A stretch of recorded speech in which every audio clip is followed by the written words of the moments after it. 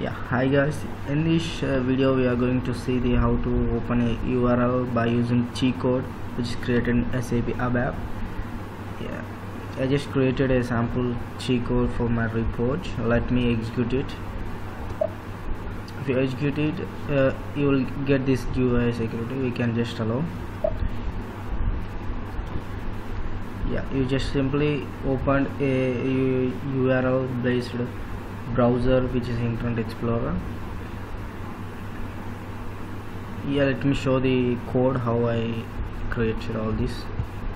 It's not a bigger thing it is a small thing.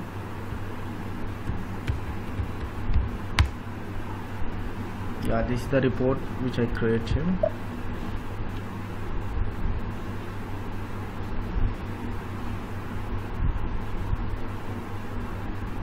by using this call browser we can open the browsers.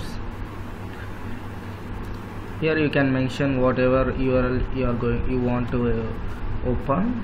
You simply can give here and you can browse there. You know the how to link the report to the T code just create a T code for this report and you can execute. You will get the same thing. Thanks